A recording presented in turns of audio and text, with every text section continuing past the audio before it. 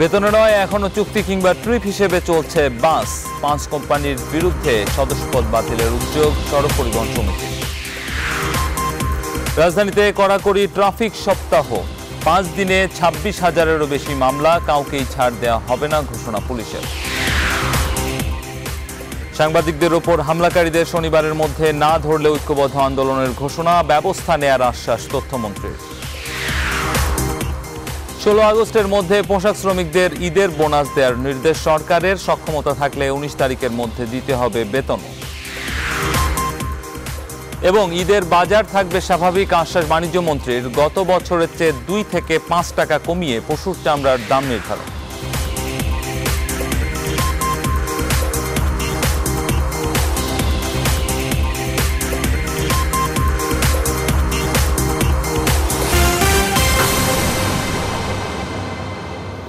স্বাগত news twenty four সংবাদে, আমি রামিম হাসান। ঘোষণার পরদিনও পরিবহন শ্রমিকরা বেতনে নয়, গাড়ি চালাচ্ছে চুক্তি কিংবা ট্রিপ হিসেবে। পরিবহন শ্রমিকরা বলছেন, তাদের কোনো নিয়োগপত্র নেই নেই মাসিক বেতনের কাঠামো। এমনকি এখনও মালিকরা কোনো আলোচনাও করেননি তাদের সঙ্গে। বাংলাদেশ সড়ক পরিবহন সমিতির সভাপতি এনায়েতুল্লাহ জানিয়েছেন, চুক্তিভিত্তিক গাড়ি ব্যবস্থাপনার দায়ে এরই মধ্যে পাঁচটি কোম্পানির সদস্যপদ বাতিলের উদ্যোগ নিয়েছে তারা। বিস্তারিত আশিকুর রহমান শ্রাবণের প্রতিবেদনে।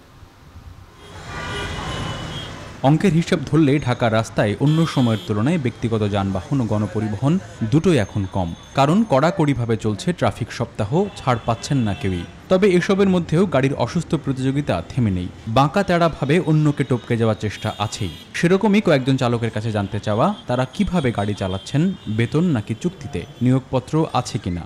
বেতন মনে করেন আনসার ক্যাম্পে ঘুরে বারটা গেলে দুশো টাকা। আমার একশো বিশ টাকা আমার হেল্পারের আশি টাকা। নিয়োগপত্র আছে? না। Daily basic. যেটা বলে। এই বেতনটাই শুধু। একটা প্রস্তাব আছে নিম্ন তিরিশ হাজার টাকা একটা ড্রাইভারের বেতন। সকাল পয়লেই মনে করেন ডাল ভাত যাই খাইতে বাল বাচ্চারা তো এটা খাওয়াই তুমি তখন বাধ্যতামূলক যাইতে বাধ্য কী করব?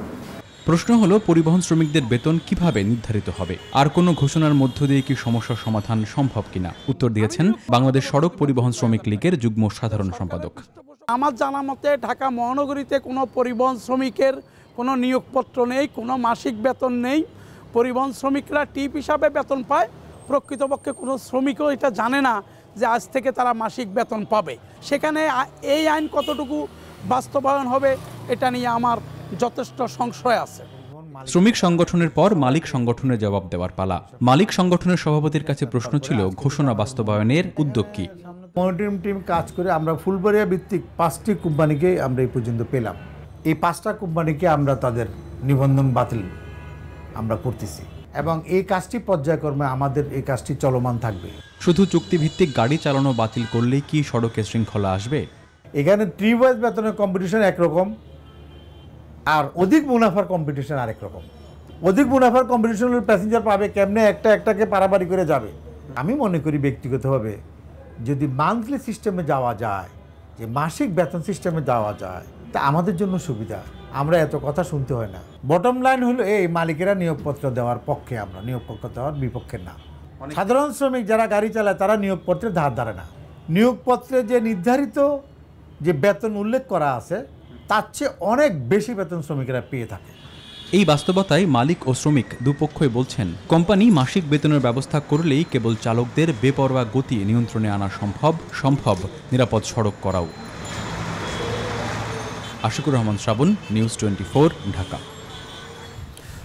রাজধানীতে ট্রাফিক সপ্তাহের পঞ্চম দিন, বৃহস্পতিবার ট্রাফিক আইন অমান্যকারীদের বিরুদ্ধে অভিযান পরিচালনা করে ছাব্বিশ হাজারেরও বেশি মামলা করেছে ডিএমপির ট্রাফিক বিভাগ। পুলিশ বলছে, ট্রাফিক আইন যারাই অমান্য করবে, তাদের কাউকেই ছাড় দেওয়া হবে না। জানাচ্ছেন মৌ খন্দকার ট্রাফিক সপ্তাহ উপলক্ষে রাজধানীর প্রতিটি মোড়ে ট্রাফিক পুলিশ অত্যন্ত সতর্কতার সাথে তাদের দায়িত্ব পালনে ব্যস্ত। আগামী এগারো আগস্ট পর্যন্ত যানবাহনের নিবন্ধন, লাইসেন্স, ফিটনেস, ইন্স্যুরেন্স সহ নানা কাগজপত্র এবং এসবের মেয়াদ যাচাই বাছাইয়ের বিশেষ অভিযান পরিচালনা করবে পুলিশ। এ কাজে আইন শৃঙ্খলা রক্ষাকারী বাহিনীকে সহায়তা করছে স্কাউটের সদস্যবৃন্দ। পুলিশ বলছে, ট্রাফিক আইন অমান্যকারীদের বিরুদ্ধে অভিযান পরিচালনা করে প্রায় তিরিশ হাজার মামলা করেছে ডিএমপির ট্রাফিক বিভাগ। প্রায় পঁয়ত্রিশ হাজারের মতো মামলা হয়েছে এবং আমরা এই মামলার প্রেক্ষিতে সরকারি কোষাগারে প্রায় দুই কোটি টাকা জরিমানা আদায় করে জমা দিয়েছি। পাশাপাশি ট্রাফিক পুলিশ সপ্তাহে প্রভাবশালীদের আইন না মানার অপচেষ্টা বন্ধ ও সাধারণ জনগণকে রাস্তা পারাপারের জন্য ফুট ওভারব্রিজ ব্যবহারে উদ্বুদ্ধ করছে। আইন অমান্যের একটা সংস্কৃতি তৈরি হয়েছিল সেক্ষেত্রেও যাতে আইন ট্রাফিক আইন মেনে চলে সেই বিষয়ে আমরা সংশ্লিষ্ট সকলকেই অনুরোধ করেছি যে অপরাধের জন্য যে ধরনের শাস্তি প্রযোজ্য সেখানে কিন্তু স্পটেই ভ্রাম্যমাণ আদালত সেটা কার্যকর করছে। আইন শৃঙ্খলা রক্ষাকারী বাহিনী বলছে, সড়কে শৃঙ্খলা ফেরাতে সবাইকে ট্রাফিক আইন মানতে হবে। ডিএমপি পরিচালিত ট্রাফিক সপ্তাহ শেষ হবে এগারো August Mou Khandakar news twenty Dhaka. পুলিশের উপর হামলা ও ভাঙচুরের পৃথক দুই মামলায় বেসরকারি বিশ্ববিদ্যালয়ের বাইশ ছাত্রকে কারাগারে পাঠানোর আদেশ দিয়েছেন আদালত। বৃহস্পতিবার ঢাকার মহানগর হাকিম সত্যব্রত শিকদার এ আদেশ দেন। এর আগে পুলিশ দুই দিনের রিমান্ড শেষে তাদের আদালতে হাজির করে। ছাত্রদের আইনজীবীরা জামিনের আবেদন করেন। শুনানি নিয়ে আদালত ছাত্রদের জামিন আবেদন নাকচ করে তাদেরকে কারাগারে পাঠানোর আদেশ দেন। গত মঙ্গলবার এই বাইশ ছাত্র, ছাত্রের প্রত্যেকের দুই দিনের রিমান্ড মঞ্জুর করেন আদালত। গ্রেপ্তারকৃতরা বেসরকারি বিশ্ববিদ্যালয় east west, north south south east ও ব্র্যাকেট ছাত্র। এর মধ্যে বাড্ডা থানা পুলিশ চোদ্দ এবং ভাটারা থানা পুলিশ আট ছাত্রকে গ্রেপ্তার করে।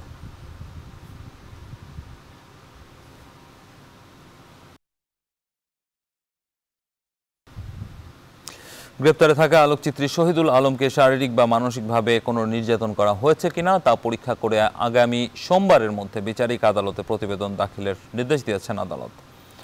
বৃহস্পতিবার বিচারপতি সৈয়দ দস্তগীর হোসেন ও বিচারপতি ইকবাল কবিরের হাইকোর্ট বেঞ্চ এ আদেশ দেন। এর আগে সকালে বঙ্গবন্ধু মেডিকেল থেকে হাইকোর্টে পাঠানো রিপোর্টে শহীদুল আলম শারীরিকভাবে সুস্থ বলে জানানো হয়। তবে এই রিপোর্টে গ্রেপ্তারকৃতকে আটক অবস্থায় কোনো শারীরিক বা মানসিক নির্যাতন করা হয়েছে কিনা তা উল্লেখ নেই বলে আদালতকে জানান তার আইনজীবী। আদালতে শহীদুল আলমের পক্ষে শুনানি করেন ব্যারিস্টার সারা হোসেন, অন্যদিকে রাষ্ট্রপক্ষে ছিলেন অ্যাটর্নি জেনারেল মাহবুবে আলম। আল জাজিরাকে দেয়া সাক্ষাৎকারে দেশের বিরুদ্ধে শহীদুল যেসব কথা বলেছেন তার রাষ্ট্রদ্রোহিতার সামিল এবং তিনি ষড়যন্ত্রকারীদের হাতিয়ার হিসেবে কাজ করছিলেন বলে জানান অ্যাটর্নি জেনারেল। শিক্ষার্থীদের নিরাপদ সড়কের দাবিতে চলা আন্দোলনে উস্কানি দেবার অভিযোগে গত ছয় আগস্ট গ্রেফতার করা হয় আলোকচিত্রী শহীদুল আলমকে।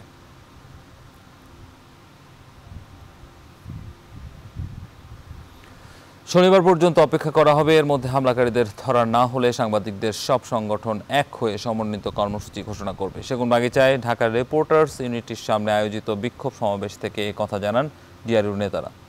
সমাবেশ থেকে বলা হয়, ছাত্রদের আন্দোলনে সংবাদ সংগ্রহে গেলে বিভিন্ন গণমাধ্যমের প্রতিবেদক ও ফটো সাংবাদিকদের উপর পুলিশের ছত্রছায়ায় হামলা করা হয়।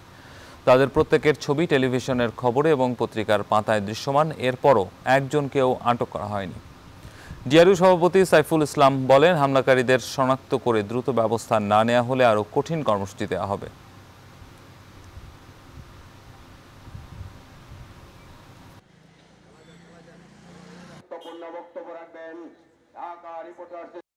হামলাকারী কারা তা তো সবাই জানেন। যেহেতু পুলিশের উপস্থিতিতে হামলা হয়েছে তারা পুলিশের পরিচিত, পুলিশ কার? সরকারের। আমি বলেছি, এই দায় এই সরকার এড়াতে পারবে না। আমরা সরকারকে দায়ী করব, স্বরাষ্ট্রমন্ত্রীকে দায়ী করব। মাননীয় স্বরাষ্ট্রমন্ত্রী, আপনার আইন শৃঙ্খলা বাহিনীকে আপনি নির্দেশ দিন। আপনারা অবিলম্বে এই হামলাকারীদের গ্রেপ্তার করে বিচারের মুখোমুখি করুন, প্রমাণ করুন যে আপনারা বিচারহীনতার সংস্কৃতি চান না। প্রধানমন্ত্রী শেখ হাসিনা বলেছেন, দেশে গণতন্ত্র সুসংহত এবং উন্নয়ন কর্মকাণ্ড ত্বরান্বিত করতে নিরন্তর কাজ করে যাচ্ছে তার সরকার। কমনওয়েলথ মহাসচিব প্যাট্রিসিয়া স্কটল্যান্ড কিউসি বৃহস্পতিবার তার তেজগাঁও কার্যালয়ে সৌজন্য সাক্ষাৎ করতে গেলে এ কথা বলেন প্রধানমন্ত্রী। এ সময় কমনওয়েলথ মহাসচিব বলেন, বাংলাদেশের গণতান্ত্রিক প্রক্রিয়া সমুন্নত রাখার ব্যাপারে তার সংস্থা সহযোগিতার জন্য প্রস্তুত রয়েছে। শেখ হাসিনা জানান, দেশে বিগত সাড়ে নয় বছরে উপনির্বাচন সহ স্থানীয় সরকারের বিভিন্ন পর্যায়ের প্রায় ছয় হাজারের বেশি নির্বাচন হয়েছে, যেখানে এসব নির্বাচন অবাধ, সুষ্ঠু এবং নিরপেক্ষভাবে শেষ হয়েছে। সন্ত্রাসবাদ প্রসঙ্গে প্রধানমন্ত্রী বলেন, তার সরকার সফলভাবে এই সামাজিক ব্যাধি মোকাবেলা করতে পেরেছে। সন্ত্রাসবাদ মোকাবেলায় বাংলাদেশের ভূমিকারও উচ্ছ্বসিত প্রশংসা করেন প্যাট্রিসিয়া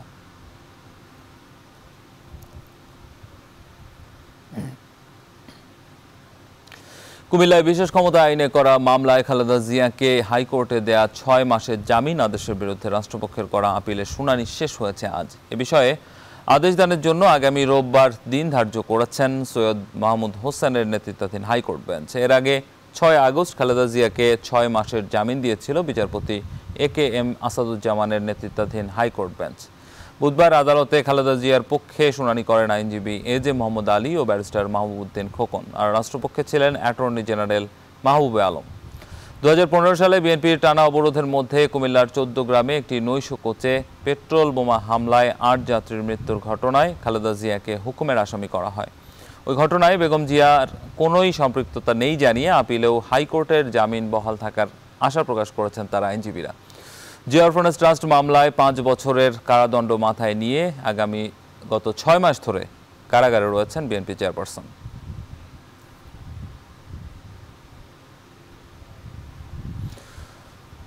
নর্থ সাউথ বিশ্ববিদ্যালয়ের আহত ছাত্র আশরাফুল ইসলাম আকিবকে হাসপাতালে দেখতে গেছেন আওয়ামী লীগ সাধারণ সম্পাদক, সড়ক পরিবহন সেতু মন্ত্রী ওবায়দুল কাদের। এ সময় তিনি জানান, আকিবের চিকিৎসা ব্যয় বহন করবে আওয়ামী লীগ। পরে ওবায়দুল কাদের তার মায়ের হাতে দুই লাখ টাকা তুলে দেন। এ সময় তার সাথে ছিলেন আওয়ামী লীগের কেন্দ্রীয় নেতারা।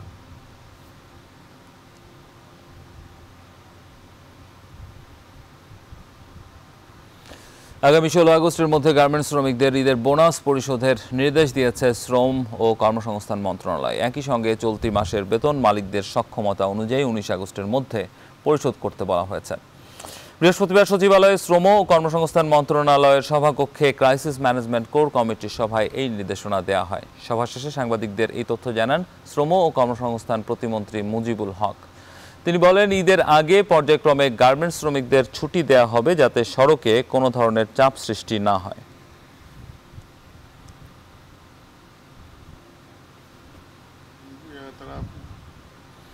ঈদুল আজহা উপলক্ষে চামড়ার চামড়ার দাম ঠিক করে দিয়েছে সরকার। সচিবালয়ে বৃহস্পতিবার এক ব্রিফিংয়ে এই তথ্য জানান বাণিজ্য মন্ত্রী তোফায়েল আহমেদ। তিনি আরও জানান ঈদুল আজহার বাজার পরিস্থিতি নিয়ে উদ্বেগের কিছু নেই। সব ধরনের পর্যাপ্ত মজুদ রয়েছে বাজার স্বাভাবিক থাকবে। লবণযুক্ত পঁয়তাল্লিশ থেকে পঞ্চাশ টাকা নিচে পঁয়তাল্লিশ উপরে পঞ্চাশ। আর ঢাকার বাইরে পঁয়ত্রিশ থেকে চল্লিশ টাকা। আর খাসির চামড়া সারা দেশে আঠারো থেকে বিশ টাকা। আর বকরির কাঁচা চামড়া সারা দেশে তেরো থেকে পনেরো টাকা। নিউজ সংবাদের পর্যায়ে নিচ্ছে একটা বিরতি। ফিরছে একটু পর আমাদের সঙ্গেই থাকুন।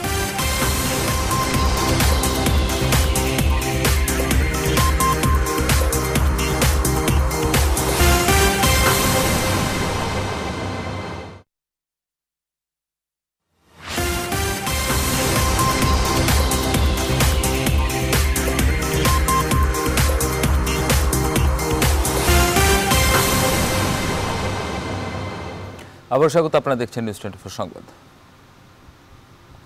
দেশের প্রথম মহিলা ব্যারিস্টার রাবেয়া ভুইয়াকে ডক্টর অব ল ডিগ্রিতে ভূষিত করল লন্ডন বিশ্ববিদ্যালয়। এই উপলক্ষে এক সংবর্ধনা অনুষ্ঠানের আয়োজন করা হয় হোটেল ওয়েস্টিডে।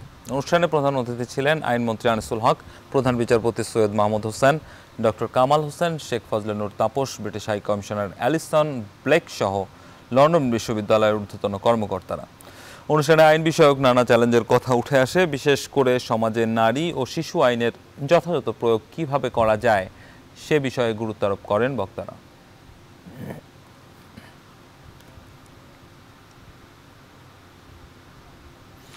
ঈদুল আজহা উপলক্ষে চলছে ট্রেনের অগ্রিম টিকিট বিক্রি। মাঝরাতেও কমলাপুর রেল স্টেশনে উপস্থিত হয়েছেন টিকিট প্রত্যাশীরা। তাদের খবর জানাতে কমলাপুর রেল স্টেশন থেকে সরাসরি যুক্ত হচ্ছেন সহকর্মী আসান হাবিব। হাবিব, মাঝরাতে কমলাপুর রেল স্টেশনে টিকিট প্রত্যাশীদের উপস্থিতি কেমন দেখছেন? সার্বিক পরিস্থিতি আমাদেরকে জানাবেন।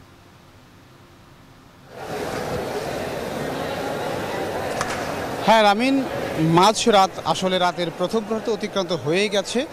আগে ছিল আট তারিখ, সেটা শুরু হয়েছিল, আট তারিখ গেল, নয় তারিখও পেরিয়েছে, এখন দশ তারিখে পা দিয়েছে।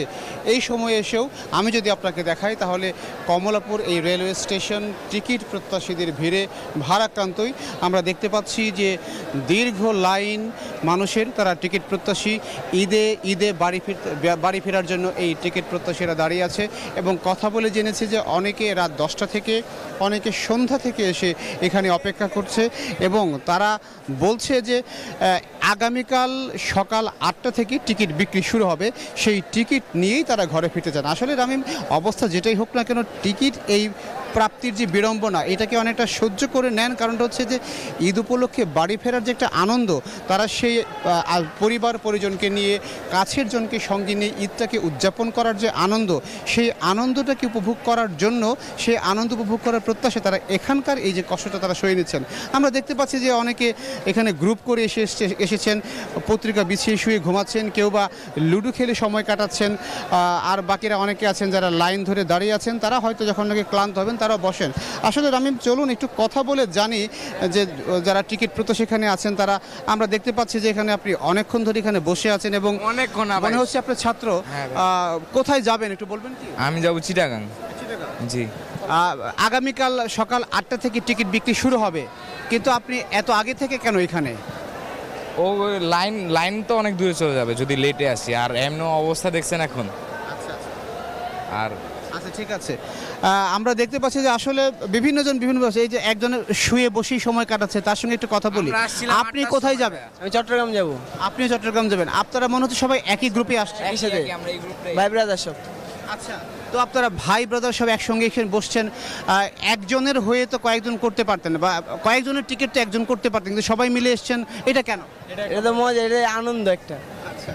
রামিম, আমরা আসলে দেখলাম যে আসলে এটা একটা আনন্দ। বলছেন যে টিকিট প্রাপ্তির যে এই কষ্টটা, এটা একটা আনন্দের মতো করে তারা নিয়েছেন এই বিড়ম্বনা। শুধু এইটাকে লক্ষ্য করেই যে তারা ভবিষ্যতে কোনো দিন টিকিট পাবেন, সেটা চব্বিশ ঘণ্টা পর হোক, এরপরও তারা বাড়ি যাবেন, আত্মীয় স্বজন নিয়ে ঈদ করবেন। সেই আনন্দের প্রত্যাশায় তারা এখনকার মতো এই কষ্ট সহ্য করছেন। এখানে বন্ধু বান্ধব বন্ধু বান্ধব নিয়ে আনন্দ করেই তারা সময়টা কাটাচ্ছেন। আপনি কোথায় যাবেন? আমি দিনাজপুর যাব। আচ্ছা দিনাজপুর যাবেন। আপনি দেখা যাচ্ছে আপনি কখন আসছেন এখানে? আমি রাত দশটার সময় আসছি এখানে। এত আগে কেন? আমি এই উনিশ তারিখে টিকিট কাটার জন্য এখানে আসছি। এত আগে কেন? টিকিট তো দিবে আগামীকাল সকাল আটটা থেকে। আগে আসছি এই কারণে যাতে আমি টিকিটের জন্য হাতে পাই। সোনার যে সোনার যে টিকিট এটা যেন আমি হাতে পাই এর জন্য আমি এতদিন এত অপেক্ষা করে এখানে লাইন দাঁড় করে আছি কষ্ট হচ্ছে না? আপনার কষ্ট হচ্ছে না? কষ্ট হলে ঈদ এটা মানিয়ে নিতে হবে। আসলে রামিম, সবার কথা একটাই যে কষ্ট হলো, এটাই তারা মানতে রাজি এবং এটা দশটা এবং অনেকে সন্ধ্যা থেকেও এখানে আসেন আসলে টিকিট পাওয়ার জন্য। টিকিট একটা আসলে অবস্থা হচ্ছে সোনার হরিণের মতো যে প্রচুর। এছাড়া এবার বিভিন্ন রুটের যে বাস চলাচল করছে, সেই বাসে আমরা দেখেছি যে আসলে বাসে যাত্রীদের চাপ তেমন একটা বেশি নেই। তারা টিকিট পাচ্ছেন, বাস কাউন্টারগুলো আমরা গাবতলি বাস টার্মিনালে দেখেছি যে মহাখালী বাস টার্মিনালে দেখেছি যে আসলে সেখানে যাত্রীর চাপ খুব একটা বেশি নেই। কিন্তু এর ফলে এইবার বাসটাকে একটু অনিরাপদ, রাস্তাঘাট একটু ভাঙাচোরা আছে, যার ফলে মানুষ একটু নিরাপদ এবং একটু আরামদায়ক ভ্রমণের কথা চিন্তা করে সবাই ট্রেনের উপর নির্ভর করছে। আর ট্রেনের উপর নির্ভর করার ফলে ট্রেনে অন্যান্য বছরের চেয়ে যাত্রীর চাপ আমরা দেখতে পাচ্ছি এবং আমি আপনাকে প্রসঙ্গত বলে রাখতে চাই যে গত আট তারিখ শুরু হয়েছে এই ট্রেনের অগ্রিম টিকিট বিক্রি। আট তারিখ দেওয়া হয়েছে সতেরো তারিখের, আজকে গেল, গতকালকে পেরিয়ে গেছে, নয় তারিখ নয় তারিখ দেওয়া হয়েছে আঠারো তারিখের টিকিট এবং আগামীকাল, অর্থাৎ সকাল আটটা থেকে যে টিকিট বিক্রি শুরু হবে, দশ তারিখ সেটা দেওয়া হবে উনিশ তারিখের টিকিট। এইভাবে টিকিট বিক্রি চলবে এক সপ্তাহ পর্যন্ত। তারপর শুরু হবে সতেরো আগস্ট থেকে ঈদের অগ্রিম বাড়ি বাড়ি ফেরা। অর্থাৎ সতেরো তারিখ প্রথম ট্রেনটি ছেড়ে যাবে ঈদের মানুষের মানে এই ঘরমুখ মানুষকে নিয়ে। আসলে আমি আপনাকে আরেকটু কথা বলে আমরা দেখি যে আপনি কোথায় যাবেন? আমি যাব নীলফামারি। নীলফামারি। টিকিট যাবেন তো আপনি আগামীকাল জানেন যে টিকিট আগামীকাল সকাল আটটায় দেবে। কিন্তু আপনি এখানে আসছেন কখন? আমি এখানে আসছি সন্ধ্যা সাতটার দিকে। সন্ধ্যা সাতটায় এসেছেন। আচ্ছা। আর আর দিবে সকাল যাবে আটটায়। মনে বলা চলে আপনি একেবারে চব্বিশ ঘণ্টা আগে এসছেন নাকি বারো ঘণ্টা আগে? আসলে আমি দেখলাম যে আসলে এরকম মানুষ বারো ঘণ্টা দশ ঘণ্টা এটা কোনো ব্যাপারই না। শুধু একটাই উদ্দেশ্য ঈদে বাড়ি ফিরবে টিকিট প্রত্যাশিতা এখানে ভিড় জমিয়েছে। বাড়ি গিয়ে পরিবার পরিজন নিয়ে আনন্দের সঙ্গে সবাই ঈদ উদযাপন করবে। রামিম আহ, আমরা কমলাপুর স্টেশন থেকে দেখালাম যে আসলে এখানকার অবস্থা একদম দিনের মতো পুরোপুরি সরগরম। এখানে দিন রাতের ব্যবধান খুব একটা বেশি বোঝার উপায় নাই। বোঝার উপায় একটাই দিনে উপরে বাতি জ্বলে না এখন বাতি জ্বলছে। পার্থক্য এটাই কিন্তু মানুষের উপস্থিতি বা কর্মচাঞ্চল্য নিয়ে কোথাও কোনো কমতি নেই। তবে কাউন্টারগুলো বন্ধ। আগামীকাল সকাল থেকে শুরু হবে যথারীতি বিশ তারিখের টিকিট বিক্রি। নামিম ছিল কমলাপুর রেল স্টেশন থেকে সর্বশেষ সংবাদ। আপনাকে অসংখ্য ধন্যবাদ। আমাদের সহকর্মী হাসান হাবিব জানাচ্ছিলেন কমলাপুর রেল স্টেশন থেকে। এবার প্রবাসের খবর।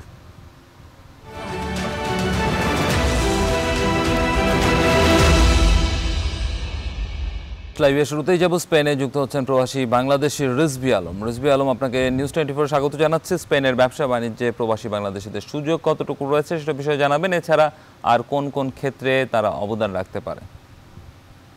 ধন্যবাদ জামিন আমি এখন, আমি স্পেন থেকে এখানকার একজন ব্যবসায়ী, জনাব আলমগীর হোসেন, তার দোকানে আছে। আপনি জানেন যে গত, বিগত যে, গত পাঁচ সাত বছরে যে স্পেন সহ ইউরোপের যে ইউরোপের বিভিন্ন দেশে যে ইকোনমিক ধস নেমেছিল তো সেই এখন মোটামুটি একটা পর্যায় থেকে উত্তরণের ব্যবস্থা হয়েছে। বাঙালিরাও এখানে মোটামুটি সুবিধা করছে। যে ইকোনমিক যে অর্থনৈতিক যে মন্দাভাব ছিল, সেই মন্দাভাবটা এখন আর তেমন ভাবে নেই।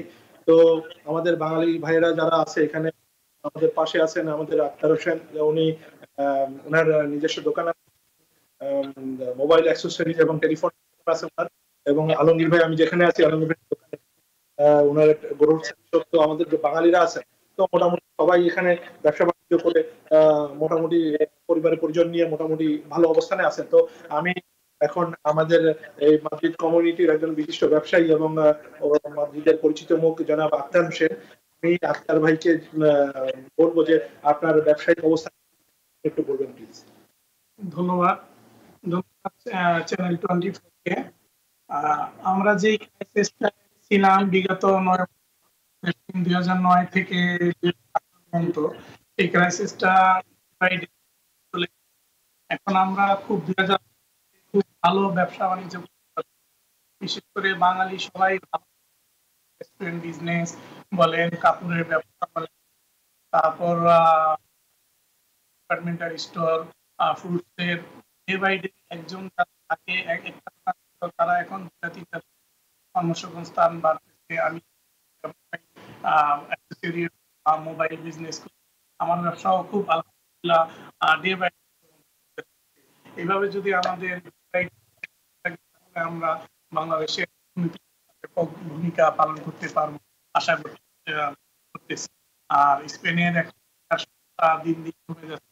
জানেন ইউরোপের অন্যান্য দেশ থেকে অনেক বাঙালিরা এসে চাকরি করতেছে। ধন্যবাদ চ্যানেল টোয়েন্টি ফোর আমি এখন আহ, আমাদের আলমগীর ভাই এই দোকানের মালিক ওনার কাছে যাব যে আপনার ব্যবসা এখন মোটামুটি আপনি একটু জানাবেন আমাদের। ধন্যবাদ। আলহামদুলিল্লাহ, আমাদের এখানে এখন খুব ভালোই ব্যবসা হচ্ছে। দুই হাজার আট থেকে দুই আঠারো পর্যন্ত ক্রাইসিসটা আমরা করে এখন আলহামদুলিল্লাহ আমাদের ব্যবসা খুব ভালো। এখানে স্পেনের যে অবস্থা, এখানে কর্মসংস্থান অনেক বেড়ে গেছে। মানুষের এখন সবাই খুব ভালো আছে। বাংলাদেশে সবাই আমরা ভালো আছি। ডিপার্টমেন্টাল ব্যবসাটাই বেশি ভালো। অন্যান্য ব্যবসার চাইতে ডিপার্টমেন্টাল ব্যবসাটা খুব ভালো চলছে। ধন্যবাদ নিউজ টোয়েন্টি ধন্যবাদ বলছিলাম যে আমাদের এখানে এখন যে যে সুযোগ সুবিধা দিচ্ছে, আমরা আসলে আগের তুলনায় অনেক ভালো আছি। সবাই ব্যবসা নিজেও আমার আমার তো এখানকার যে পরিবেশ পরিস্থিতি বাঙালিদের অনুকূলে কাজ করছে সেটা আপনাদের যে এখানে মোটামুটি এখন ব্যবসায়িক সুযোগ রয়েছে ইউরোপের অন্যান্য দেশের চেয়ে স্পেনে ব্যবসা সহজ দেশের সরকার নামমাত্র পুঁজিতে দেখা যায় যে জার্মান বা ফ্রান্স বা বেলজিয়ামের তুলনায় স্পেনে অতি সহজে একজন মানুষ অল্প অল্প পুঁজি নিয়ে এখানে ব্যবসা শুরু করতে পারে।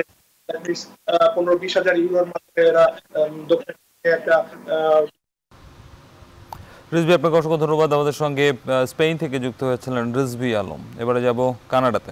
সম্প্রতি কানাডার সাথে সৌদি আরবের সম্পর্ক ভালো যাচ্ছে না। মুসলিম দেশ হয় যার কিছু প্রভাব পড়েছে বাংলাদেশিদের উপরও। এ বিষয়ে বিস্তারিত জানাতে ওন্টারিও থেকে আমাদের সঙ্গে যুক্ত হচ্ছেন প্রবাসী বাংলাদেশি মানজার মাহমুদ। মানজার, আপনাকে জানতে চাই, সৌদি আরব এবং কানাডার কূটনৈতিক সম্পর্কে যেই সাম্প্রতিক শীতলতা, সেটির মূল কারণটা কি এবং এর ফলে বাংলাদেশি প্রবাসীরা যারা রয়েছেন, তারা আসলে কি ধরনের ক্ষতির শিকার হচ্ছেন? ধন্যবাদ রামিম আপনাকে। আপনি যে বলছিলেন সৌদি আরবের সাথে বর্তমানে ক্যানাডার খুব শীতল সম্পর্ক বিরাজ করছে এবং এটি মূলত শুরু হয়েছে ক্যানেডিয়ান ফরেন মিনিস্ট্রির একটি টুইট বার্তাকে নিয়ে। ক্যানেডিয়ান ফরেন মিনিস্ট্রি সৌদি আরবের কিছু মানবাধিকার কর্মীকে সৌদি অ্যারেস্ট করার পরবর্তীতে সেটি আহ, ক্যানাডাটি সেটিতে খুব ভালো চোখে দেখছে না, এরকম একটি টুইট বার্তা ক্যানাডার ফরেন মিনিস্ট্রি থেকে প্রকাশ করা হয়। এরপরে সৌদি আরব বলে থাকে যে, এটা ক্যানাডা আমাদের অভ্যন্তরীণ বিষয়ে হস্তক্ষেপ করছে এবং এই বিষয়টাকে কেন্দ্র করেই সৌদি তাদের বিভিন্ন পর্যায় থেকে ক্যানাডার উপর বেশ কিছু আচরণ করছে, যেটা কোনোভাবেই ক্যানাডা ভালো চোখে দেখছে এবং ক্রমশ এটি খুবই খারাপ দিকে মোড় নিচ্ছে এবং এটি বাংলাদেশিদেরকেও এফেক্ট করছে।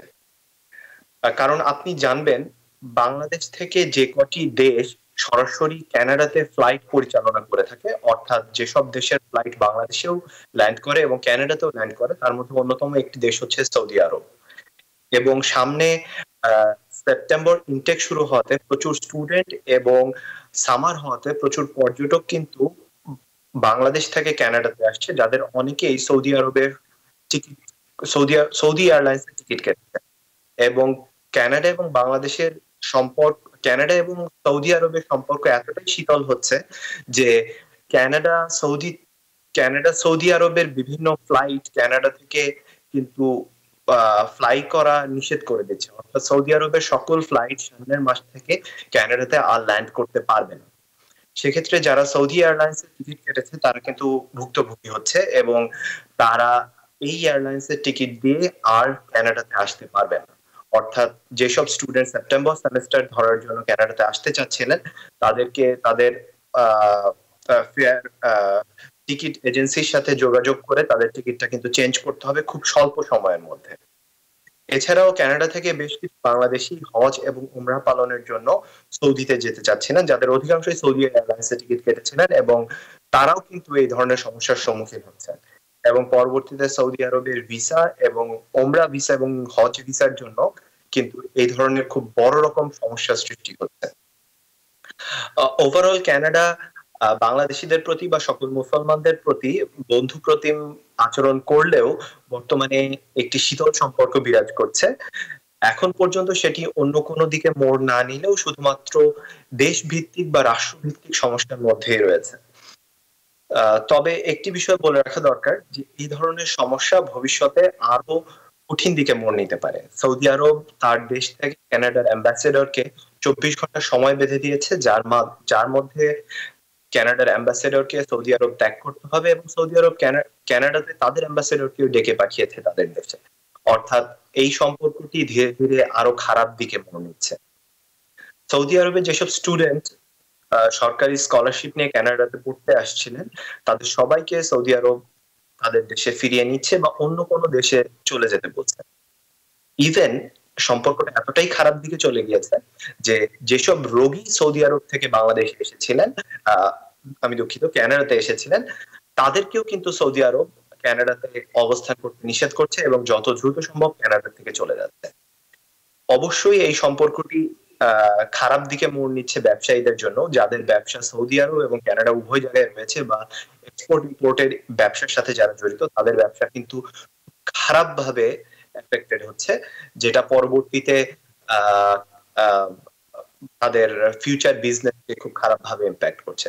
তবে অতি দ্রুত যে বিষয়টায় পদক্ষেপ নেওয়া দরকার সেটি হচ্ছে যারা সৌদি এয়ারলাইন্সে তাদের টিকিট কেটেছে কানাডায় আসার জন্য বা কানাডা থেকে যারা বাংলাদেশে যাওয়ার জন্য সৌদি এয়ারলাইন্সে টিকিট কেটেছে, তাদের কিন্তু তাদের ট্রাভেল এজেন্টদের সাথে যোগাযোগ করে খুব দ্রুত তাদের টিকিট চেঞ্জ করে ফেলতে হবে, নইলে কিন্তু তাদের আশাটা সম্পূর্ণ অনিশ্চয়তার মধ্যে পড়ে গিয়েছে। এবং ভবিষ্যতে এই সম্পর্কটি দুই দেশের সম্পর্ক কোন দিকে মোড় নেয় এবং বাংলাদেশিরা কীভাবে এফেক্ট হয় সেটার জন্য আমাদেরকে আরও কিছুদিন অপেক্ষা করতে হবে সেটি দেখার জন্য। তবে এখন পর্যন্ত ভালো হওয়ার কোন রকম লক্ষণ দেখা যাচ্ছে। ধন্যবাদ রিজভি আপনাকে। আপনাকে অসংখ্য ধন্যবাদ, মানজার। আমাদের সঙ্গে কানাডা থেকে যুক্ত হয়েছিলেন প্রবাসী বাংলাদেশি মানজার মাহমুদ। এবারে যাব সৌদি আরবে। মক্কা থেকে যুক্ত হচ্ছেন সহকর্মী মোহাম্মদ আল আমিন। আল আমিন চলতি বছর হজ ব্যবস্থাপনা নিয়ে আমাদের জানাবেন। আর সার্বিক যে অবস্থা, তাতে প্রতি বছর যেই সমস্যাগুলো বা সংকটগুলো সম্মুখীন হয়, এই হজ যাত্রাকে কেন্দ্র করে এবার সেরকম কোনো সম্ভব আশঙ্কা রয়েছে কিনা?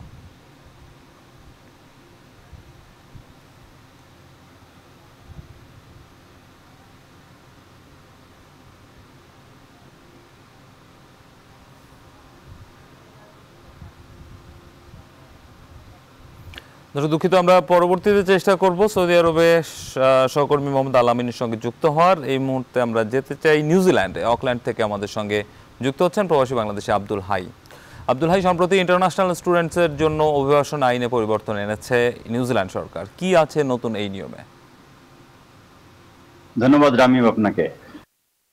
আপনি ইতিমধ্যে জানেন যে এই নতুন গভর্নমেন্ট আসার পরে এই নিয়ে তিনবার কিন্তু এই অল্প সময়ের মধ্যে কিন্তু ইমিগ্রেশন ল চেঞ্জ হলো, বিশেষ করে স্টুডেন্টদের জন্য ইন্টারন্যাশনাল স্টুডেন্টদের জন্য।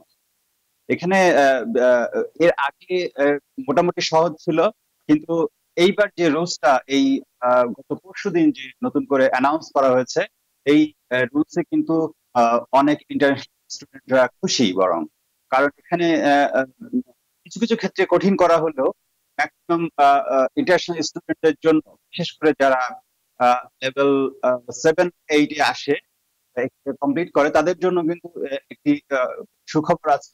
সেটি হলো যে তাদেরকে নতুন করে কোনো এমপ্লয়মেন্টের এক বছর স্টাডি শেষ করে, এক বছরের পরবর্তী এক বছরের জন্য ওয়ার্ক ভিসার জন্য ওপেন ওয়ার্ক ভিসার জন্য অ্যাপ্লাই করতে হবে না। সেক্ষেত্রে তারা কিন্তু অটোমেটিকলি তিন বছরের ওয়ার্ক ভিসা পেয়ে যাবে। এক বছর স্টাডি দেন তিন বছর ওয়ার্ক ভিসা এবং এরপরে কিন্তু আপনাকে হয় দেশে ফেরত যেতে হবে অথবা এর ভিতরেই রেসিডেন্সির জন্য অ্যাপ্লাই যোগ্যতা অর্জন করতে হবে এবং অ্যাপ্লাই করতে হবে। তা, তাছাড়া কিন্তু আর কোনো নেই। অথবা থার্ড যদি আপনি চান, তাহলে আপনাকে আবার স্টাডিতে আসতে হবে। সেক্ষেত্রে কোনো যে বছর যে ভিসা নতুন করে অ্যাপ্লাই করা বা পারমিটের জন্য অ্যাপ্লাই করা বা জব খোঁজা বা এমপ্লয়মেন্ট আপনার সাবজেক্ট অনুযায়ী সেই অনুযায়ী সেই এমপ্লয়ার বের করা এবং অ্যাপ্লাই করা সেই রকম জব স্টাডি রিলেটেড জব বের করে নতুন করে ভিসার জন্য অ্যাপ্লাই করার ঝামেলাটা, এই ঝামেলাটা কিন্তু থাকে না। তবে কিছু কিছু অকল্যান্ডে স্টাডি যারা করছেন তাদের জন্য একটু কঠিন। এক্ষেত্রে সুবিধা হলো অকল্যান্ডের বাইরে যদি প্রতিষ্ঠানে কেউ অ্যাপ্লাই করে তাদের জন্য কিন্তু নিউজিল্যান্ডের ইমিগ্রেশনের কিন্তু একটু সহজ এবং বিশেষ করে বাংলাদেশ থেকে যারা আসছে তাদের জন্য আমি বলব যে তাদের ভালো খোঁজ খবর নিয়ে, ভালো ভালো করে নতুন rules সম্পর্কে জেনে সে অ্যাপ্লাই করে অকল্যান্ডের বাইরে আসলে হয় তাদের জন্য ভালো। রামিম। আপনাকে অসংখ্য ধন্যবাদ আমাদের সঙ্গে নিউজিল্যান্ড থেকে যুক্ত হয়েছিলেন প্রবাসী বাংলাদেশি আব্দুল হাই। এবারে যাব অস্ট্রিয়াতে, ভিয়েনা থেকে আমাদের সঙ্গে যুক্ত হচ্ছেন প্রবাসী সাংবাদিক হাসান তামিম। তামিম, নিরাপদ সড়কের দাবিতে বাংলাদেশের শিক্ষার্থীদের আন্দোলনের সাথে একাত্মতা ঘোষণা করে আগামীকাল অস্ট্রিয়ায় কর্মসূচি হাতে নিয়েছে প্রবাসী বাংলাদেশিরা। এই কর্মসূচি সম্পর্কে আমাদেরকে জানাবেন এবং সেখানে আসলে এই ধরনের কর্মসূচিতে কতখানি পর্যন্ত করা সম্ভব থাকে বা সেখানে আসলে সেখানকার অস্ট্রিয়া সরকারের পক্ষ থেকে বা স্থানীয় প্রশাসনের পক্ষ থেকে কোনো ধরনের বাধা বিঘ্নের আশঙ্কা তৈরি হয় কিনা এই ধরনের পরিস্থিতিতে?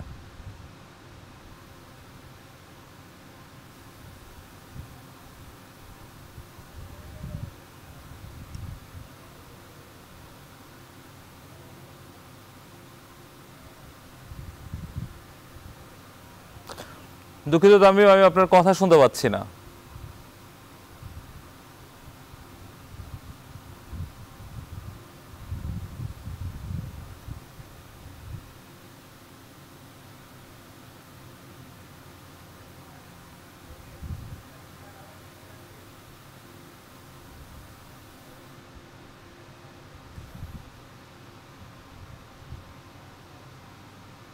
দর্শক দুঃখিত, আমরা আসলে অস্ট্রেলিয়ায় তামিমের সঙ্গে যুক্ত হয়েছে, কিন্তু তার তার পাশ থেকে কোনো রকম শব্দ শুনতে পাচ্ছি না। আমরা চেষ্টা করব পরে আবারও তার সঙ্গে যুক্ত হওয়ার। এই মুহূর্তে নিচ্ছে আরও একটা বিরতি, ফিরছি একটু পর আমাদের সঙ্গেই থাকুন।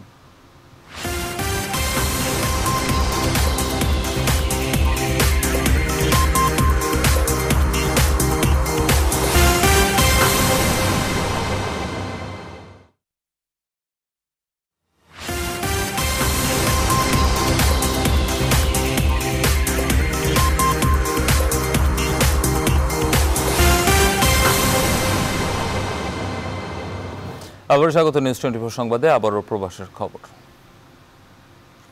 যাব সৌদি আরবে মক্কা থেকে যুক্ত হচ্ছেন সহকর্মী আল আমিন। আল আমিন জানতে চাই, চলতি বছর হজ ব্যবস্থাপনা নিয়ে আমাদেরকে জানাবেন, আর প্রতি বছরই নানা রকম জটিলতা তৈরি হয়, সেখানে আবাসন সংকট, তারপর নানা ধরনের সমস্যাগুলো সামনে আসে। এবার সামগ্রিকভাবে ব্যবস্থাপনা নিয়ে আপনার কাছে কি মনে হচ্ছে? কোনো ধরনের সমস্যা, আশঙ্কা করছেন কিনা? রামিন ধন্যবাদ আপনাকে। শুরুতে জানিয়ে রাখি যে আজকে পর্যন্ত বাংলাদেশ থেকে এক লক্ষের বেশি হজ যাত্রী পবিত্র হজ পালনের উদ্দেশ্যে সৌদি আরবে এসে পৌঁছেছেন। তো তারা বর্তমানে মক্কা এবং মদিনাতে অবস্থান করছেন। তো আপনি যেটি জানতে চাচ্ছিলেন যে আসলে হাজিদের কোনো ধরনের সমস্যা হয়েছে কিনা? প্রতি বছরই আসলে সৌদি সরকার এবং বাংলাদেশ সরকার আহ, ভুক্তভোগী হাজিদের অভিজ্ঞতা থেকে নতুন নতুন পরিকল্পনা নিয়ে থাকে এবং সেই পরিকল্পনা বাস্তবায়নের মাধ্যমে হাজিদেরকে সুন্দর এবং সুষ্ঠুভাবে হজ সম্পাদনের জন্য বিভিন্ন পরিকল্পনা গ্রহণ করে। তো তারই অংশ হিসাবে চলতি বছর সৌদি সরকার একটি নতুন নিয়ম চালু করেছে এবং এই হজ ব্যবস্থাপনাকে শতভাগ অনলাইনের মাধ্যমে বা ডিজিটাল করণের একটা সিদ্ধান্ত নেওয়া হয়েছে। তো সেক্ষেত্রে যারা বাংলাদেশ হাজি আসছেন, আসলে তাদের প্রত্যেককে তাদের পাসপোর্টের পিছনে মক্কা এবং মদিনার বাসার ঠিকানা এবং মোয়ালেম নাম্বার সংযুক্ত করার একটি বিধিবিধান চালু হয়েছে। তো সেটির কারণে মূলত এই বছর দুর্দশা, দুর্গ দুর্ভোগ কিছুটা কমে এসেছে। কারণ আমরা যতটুকু দেখি যে হাজিদের আসলে প্রধান প্রধান সমস্যার মধ্যে আসলে দুইটা সমস্যাই থাকে। একটা হচ্ছে খাবারের সমস্যা আর একটা হচ্ছে আবাসনের সমস্যা। তো যেটি আমরা অতীত বছরগুলোতে দেখেছি যে, এজেন্সিগুলো তারা কিছু বেশি পয়সা লাভের আশায় তারা হাজিদের সাথে প্রতারণা করতো। বাসা ভাড়া না নিয়েও তারা হাজিদেরকে নিয়ে আসতো। দেখা যেত হাজিরা রাস্তায় সময় পার করতো, রাত কাটাতো, একটা দুর্বিষহ একটা জীবন যাপন করতো। তো এই বছর থেকে আসলে সেটি হচ্ছে না। কারণ হচ্ছে এই বছর আগেই বাড়ি ভাড়া করার পরে হাজিদেরকে এখানে নিয়ে আসতে হয়। তো এই ক্ষেত্রে আসলে কিছু কিছু অভিযোগ আমরা পাই। যেমন তারা যে প্যাকেজটা আছে যে পরিমাণ টাকা দিয়ে আসে, ওই টাকা অনুযায়ী আসলে তাদেরকে সেই পরিমাণ সুবিধা দেওয়া হয় না। যেরকম হারাম শরীফ থেকে যতটুকু কাছে বাসা নেওয়ার কথা থাকে ততটুকু কাছে না নিয়ে তারা একটু দূরত্বে বাসা নেয়, সেটা হাজিদেরকে অনেক কষ্ট হয়। তো এই বছর আসলে হাজিদের যে সমস্যাগুলো আছে সেই ছোট ছোট সমস্যাগুলোকে আসলে চিহ্নিত করে সেগুলোর ব্যাপারে তড়িৎ ব্যবস্থা নিচ্ছে হজ অফিস এবং হজ অফিসগুলো নিয়মিতই হাজিরা অবস্থান করছেন এরকম প্রতিটা বাড়িতে তারা টহল দিচ্ছেন এবং তারা দেখছেন ঘুরে ঘুরে যে কোন বাড়িতে কি হাজিদের কি সমস্যা আছে এবং সমস্যা হলে হাজিদের কাছ থেকে শুনে সেটা সংশ্লিষ্ট এজেন্সির সাথে কথা বলে সমস্যাগুলো সমাধানের চেষ্টা করছেন। তো এখন পর্যন্ত যে অভিযোগগুলো বড় ধরনের কোনো অভিযোগ এখন পর্যন্ত পাওয়া যায়নি। তো ছোট ছোট অভিযোগ আছে যে খাবার দাবারের কিছু সমস্যা আছে বাসাতে বেশি পরিমাণ লোক রাখার গাদাগাদি করে লোক রাখার কিছু অভিযোগ রয়েছে। তাছাড়া বাসার দূরত্বের একটা ব্যাপার রয়েছে যে তারা প্যাকেজ টু বা প্যাকেজ ওয়ানে উচ্চ মূল্যে যারা এসেছেন, তাদের ধারণা ছিল যে তারা হয়তো বা হারাম শরীফের খুব কাছেই তাদের একটা বাসা থাকবে। কিন্তু সেটা দেখা গেছে আরও কিছু দূরে যাওয়ার কারণে তারা একটু মনক্ষুণ্ণ হয়েছেন। তো এই বিষয়গুলো আসলে হজ অফিস তারা দেখছে। তো এখন পর্যন্ত আসলে ওই বড় ধরনের কোনো অভিযোগ পাওয়া যায়নি। ছোট ছোট যে অভিযোগগুলো আছে সেগুলো হজ মিশন জানার চেষ্টা করছে। এছাড়াও আমরা যেটি শুনেছি যে হজ গাইড বা হজ কর্মী নিয়োগের ক্ষেত্রেও আসলে কিছু সমস্যা তৈরি হচ্ছে। যে, যেরকম যারা হজ কর্মী হিসেবে কাজ করছেন, তারা আসলে কতটুকু দক্ষ বা কতটুকু ওই কাজের জন্য পারফেক্ট সেরকম লোক নেওয়া হয়েছে কিনা। আবার অনেকে আছেন যে, উচ্চ পর্যায়ের অনেক লোককে আসলে চিকিৎসা সহায়ক টিমের সদস্য করা হয়েছে যারা উচ্চ পর্যায়ের কর্মচারী বাংলাদেশে। এরকম আমরা দেখেছি যে আসলে অতিরিক্ত সচিবকেও পর্যন্ত চিকিৎসক টিমের সদস্য করা হয়েছে। আসলে তাদের কাছ থেকে কতটুকু সহায়তা হাজিরা পাবে সেটা আসলে দেখার বিষয়। রামিন ধন্যবাদ আমাদের সঙ্গে সৌদি আরবের মক্কা থেকে যুক্ত হয়েছিলেন আল আমিন। আবারও অস্ট্রিয়া যেতে চাই, ভিয়েনা থেকে আমাদের সঙ্গে যুক্ত হচ্ছেন হাসান তামিম। হাসান তামিম সেই প্রশ্নটি আবার করছি, তখন আপনার কথা শুনতে পাইনি আমরা। নিরাপদ সড়কের দাবিতে বাংলাদেশের শিক্ষার্থীদের আন্দোলনের সাথে একাত্মতা ঘোষণা করতে আগামীকাল অস্ট্রিয়ায় কর্মসূচি হাতে নিয়েছে প্রবাসীরা। কি কি ধরনের কর্মসূচি থাকবে এবং এই যে কর্মসূচিগুলো যে অংশ নেয় সেখানকার প্রবাসীরা, সেখানে আসলে কোনো ধরনের সংকট তৈরি হয় কিনা সরকারের পক্ষ থেকে বা সেখানকার স্থানীয় প্রশাসনের পক্ষ থেকে? আর আমি আপনাকে ধন্যবাদ। এই যে কালকে যে মানববন্ধন উই ওয়ান জাস্টিস নামে তাদের যে মানববন্ধনটি অনুষ্ঠিত হবে। সে মানববন্ধনটি মূলত এখানকার, এখানে যেসব বাংলাদেশি বংশোদ্ভূত নাগরিক যারা এখানে বড় হয়েছেন তারা এই অনুষ্ঠানটি মানে মানববন্ধনটি আয়োজন করতে যাচ্ছে। এবং সেটি হচ্ছে বলে ভিআইসি সেখানে তারা এই মানববন্ধন করবে সকাল এগারোটা থেকে একটা পর্যন্ত। আহ এছাড়াও এখানে শুধু আহ, যারা স্থানীয় যারা বাংলাদেশি বংশোদ্ভূত অস্ট্রিয়ান নাগরিক নয় এখানে যেসব অস্ট্রিয়ান বিশ্ববিদ্যালয়ে যারা পড়াশোনা করেন ছাত্রছাত্রীরা তারাও সেখানে উপস্থিত থাকবেন এছাড়াও এখানে যেসব বাঙালি থাকেন বাংলায় সেখানে এখানে উপস্থিত তারাও এখানে উপস্থিত থাকবেন করে একটি সকল ধরনের মানুষ এখানে উপস্থিত থাকেন বলে। এবং তাদের তারা হলো তারা এই মানববন্ধনটি আয়োজন করতে যাচ্ছে। আর দ্বিতীয়ত কথা হচ্ছে যে এখানে যে সীমাবদ্ধতার কথা আপনি জানতে চেয়েছেন তো এখানে মানববন্ধন বা কোনো আহ, পুলিশের কাছ থেকে অনুমতি নিতে হয় এখানে ঠিক সেই কাজটা করতে হচ্ছে কারণ তাদের আয়োজন কথা ছিল আট সেটি পুলিশের অনুমতি না থাকার কারণে সেটিকে দশ তারিখ, অর্থাৎ আগামীকাল সকাল এগারোটায় নেওয়া হবে এবং আশা করা যাচ্ছে যে সেখানে এবং তাদের মূল বিষয় হচ্ছে বাংলাদেশের ছাত্রীরা যে আন্দোলন করেছে সেই যৌক্তিক আন্দোলনের সাথে তাদের সমর্থন এবং বাংলাদেশের নিরাপদ যাতে হয়, সেক্ষেত্রে তারা এই বিষয়টি তুলে ধরবে। এবং তারা এক বিষয় যে ছাত্র আন্দোলন এবং তারা খুব দ্রুত দেখতে চায় যে বাংলাদেশের সড়ক সড়কটি নিরাপদভাবে পরিচালনা করছে সরকার এবং যে ড্রাইভাররা যে চাপবিহীন গাড়ি চালনা বিষয়টিও আহ, সরকার ভালোভাবে এবং আগামী মানববন্ধনের বিষয়ে আমি বিস্তারিত আপনাদেরকে জানাতে পারব। আমি আপনাকে অসংখ্য ধন্যবাদ আমাদের সঙ্গে অস্ট্রিয়া থেকে যুক্ত হয়েছিলেন হাসান তামিম। এবারে আন্তর্জাতিক প্রসঙ্গ, ইয়েমেনের সাদা প্রদেশে একটি স্কুল বাসকে লক্ষ্য করে সৌদি বিমান হামলায় শিশুসহ তেতাল্লিশ জন মারা গেছেন।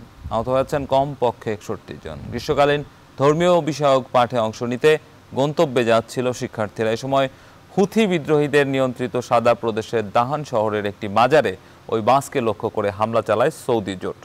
এতে হতাহতের ঘটনা ঘটে, পরে আহতদের স্থানীয় একটি হাসপাতালে ভর্তি করা হয়। রেড ক্রিসেন্টের দেয়া তথ্য মতে হতাহতদের বেশিরভাগই দশ বছরের কম বয়সী শিশু। সৌদি জোটের অভিযান শুরুর পর এ পর্যন্ত ইয়েমেনে প্রায় দশ হাজার মানুষ নিহত হয়েছেন। এদের মধ্যে শিশুই রয়েছে প্রায় দু হাজারেরও বেশি। ভারতের কেরালায় প্রবল বৃষ্টি ও ভূমিধসে বাইশ জন মারা গেছেন। জরুরি সতর্কতা বোঝাতে রাজ্যটির ইদ্দুকি শহরে রেড অ্যালার্ট জারি করেছে কর্তৃপক্ষ। আর শুধুমাত্র ইদ্দুকি জেলাতেই মারা গেছেন এগারো জন। এছাড়া মালাপ্পুরাম, কোঝিকোদি এবং ওয়াইদানাদ জেলায় হতাহতের ঘটনা ঘটেছে। পানির উচ্চতা বেড়ে যাওয়ায় এরই মধ্যে ইদ্দুকি জেলার বাইশটি বাঁধ খুলে দেওয়া হয়েছে। কোচি বিমানবন্দরে বাতিল করা হয়েছে সব ফ্লাইট। কেজিকোদি ওয়াইদা, ওয়াই, ওয়াইনাদ কোল্লাম ও মালামপুরো ও ইদ্দুকির কিছু অংশে বন্ধ ঘোষণা করা হয়েছে স্কুল, কলেজ। পরিস্থিতি অস্বাভাবিক, স্বাভাবিক আনতে, স্বাভাবিক করতে কাজ করে যাচ্ছে সেনাবাহিনী।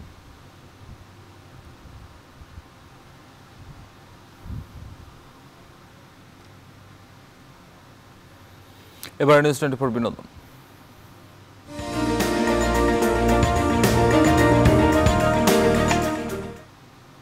দর্শক, এখন দেখব টার্টলস ক্যান ফ্লাই মুভির গল্প। যেই মুভির কাহিনী গড়ে উঠেছে ইরাক, তুর্কি সীমান্তে একটি কুর্দি শরণার্থী শিবিরকে কেন্দ্র করে। সেখানকার স্থানীয় গ্রাম্য এলাকার ডিসেন্টেনা স্থাপনের জন্য সুপরিচিত ১৩ বছরের এক কিশোর, নাম তার স্যাটেলাইট। একই গ্রামের বাসিন্দা এগ্রিন। এই মেয়েটির প্রেমে পড়ে যায় স্যাটেলাইট। গল্প শুনে এটিকে প্রেম নির্ভর সিনেমা মনে হলেও আসলে তা নয়। তবে কি থাকছে সিনেমার গল্পে গল্পে তা নিয়ে সুকন্যা আমিরের প্রতিবেদন।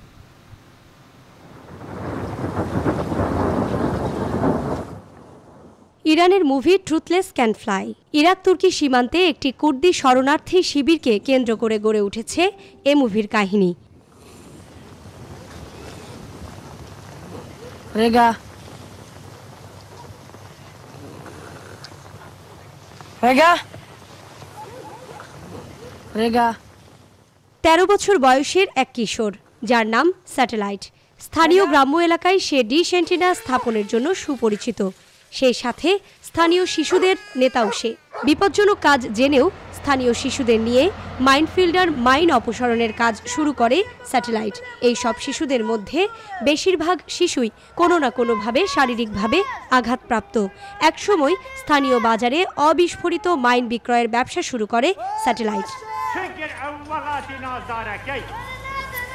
شكل اولاتي نازاركي نعاو مان هيا نكهرباء مان هيا نعاوداني مان هيا نمدرسة مان هيا ওই গ্রামেই প্রতিবন্ধী ভাই এবং নিজের অন্ধ মেয়েকে নিয়ে বাস করে অ্যাগ্রিন যুদ্ধ সৈনিকরা তাকে গণধর্ষণ করে এবং তার সামনেই মেরে ফেলে তার বাবা মাকে অতীতের এই ট্রমা থেকে বের হয়ে আসতে পারে না অ্যাগ্রিন একসময় অ্যাগ্রিনের প্রেমে পড়ে যায় স্যাটেলাইট বিভিন্ন ঘটনার মধ্য দিয়ে এগিয়ে যায় মুভিটির কাহিনী এতে অভিনয় করেছেন সোরান ইব্রাহিম আভাজ লাতিফ সাদ্দাম হুসাইন ফয়সাল এবং আরও অনেকে।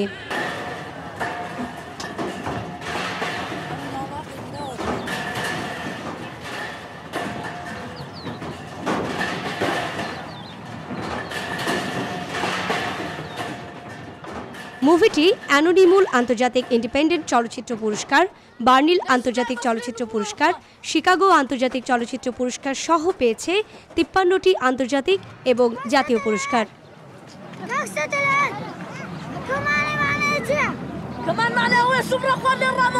Sukanya Amir news twenty four এর মধ্যে দিয়ে শেষ করব নিউজ টোয়েন্টি ফোর সংবাদ, তবে তার আগে শিরোনামগুলো জানাব আরও একবার।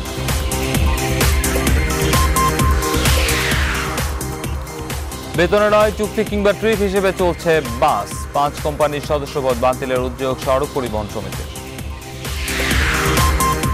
রাজধানীতে কড়াকড়ির মধ্যে চলছে ট্রাফিক সপ্তাহ, পাঁচ দিনে ছাব্বিশ হাজারেরও বেশি মামলা, কাউকেই ছাড় দেওয়া হবে না ঘোষণা পুলিশের।